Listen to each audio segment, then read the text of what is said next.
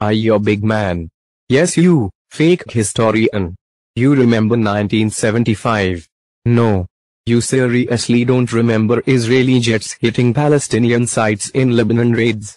What comic book you're from? It was everywhere in the news? You forgot or something? That's funny. I swear you said you lived there a year or two after? Did no one tell you what happened? Did you oversleep or something? Anyway, on December 3, 1975 Lebanon together with Syria and Palestine informed the United Nations that an act of aggression has been committed by Israel against Lebanon and the Palestinians.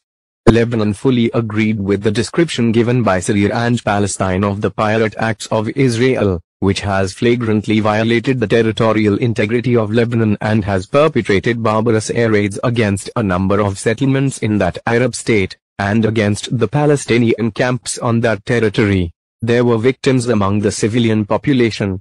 Hundreds of peaceful inhabitants have been injured or killed, especially women, elderly and children. A number of dwellings and buildings were destroyed.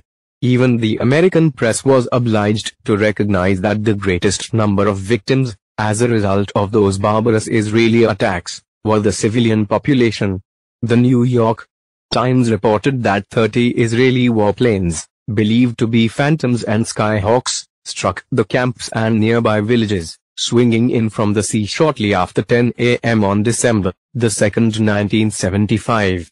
Israeli jets attacked Palestinian camps in northern and southern Lebanon, inflicting the heaviest reported death toll in such raids in a year and a half till that date bombing and strafing for an hour.